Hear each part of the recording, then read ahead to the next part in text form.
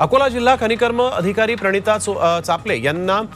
वाळू तस्करांकडून धोका निर्माण झाला होता त्यामुळे त्यांच्या सुरक्षा रक्षकानं हवेत बंदुकीच्या दोन ते तीन फेरी झाडल्या चापले या निंभोरामधल्या पूर्णा नदी पात्रात होत असलेल्या बेकायदा वाळू उपसा रोखायला गेल्या होत्या त्यावेळी हा प्रसंग घडला